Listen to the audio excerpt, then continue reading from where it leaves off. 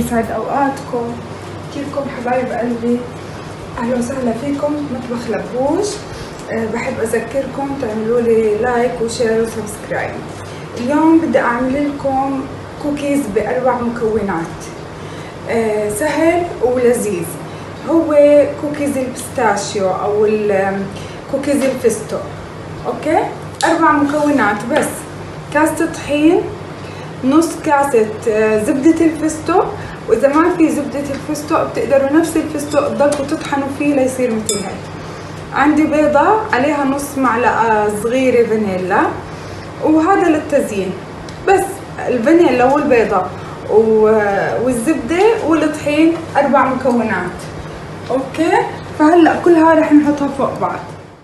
هلأ أول شي رح أحط أنا البيضة. البيضة اللي عندي كبيرة. okay؟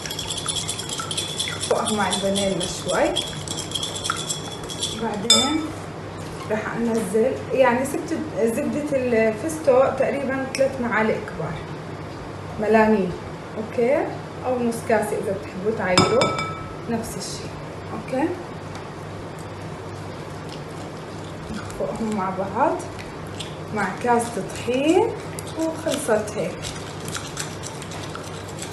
ندخل البيضة بس بزبدة الفستق. okay؟ هيك. هيك شوي صغيرة بس يتجانسوا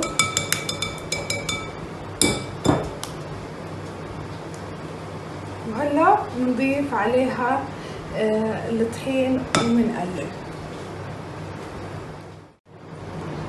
هلا بقلب الخليط. لا يتجانس ويصير عندي عجين. طولوا بالكم ودخلوا الطحين شوي شوي. تمام؟ حياتني شايفين كيف صارت العجينة؟ بس طولوا بالكم. ما تقوموا تزيدوا بيضة أو شي. لا هيها بتجنن. okay؟ هلأ بلبس gloves وبنكورها سوا. هلأ بناخذ العجين نشكلها. okay؟ هيك. ماشي؟ تزينوها مثل ما بدكم. يا بتحطوا حبة pistachio هيك. okay. أو. بتكوروها. وبمثلا قطاعة زي هاي تعملوا عليها هيك. okay. كمان أو يعني أو بالشوكة مثلا.